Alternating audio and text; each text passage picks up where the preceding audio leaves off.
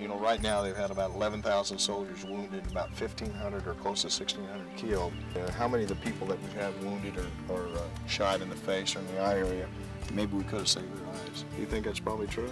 Uh, definitely so, Greg. Ready on the line!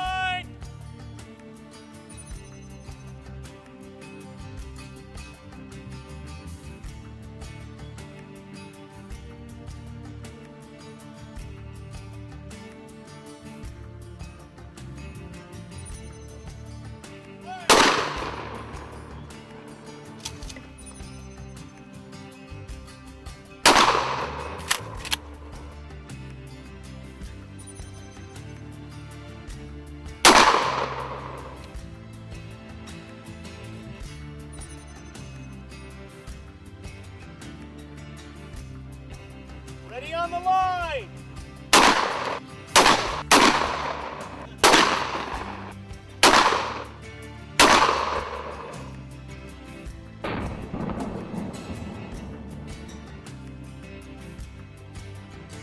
I've been, on the range for about 20 plus years now, uh, combat arms instructor for about 10.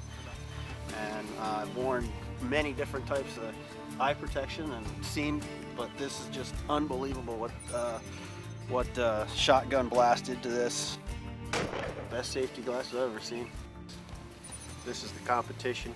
See, it didn't fare too well. It uh, pretty much came apart on impact with a 12 gauge shotgun. This is the revision wear. It withstood uh, the shot from the 12 gauge. Nothing No, penetrated. no problem. No penetration on the lens.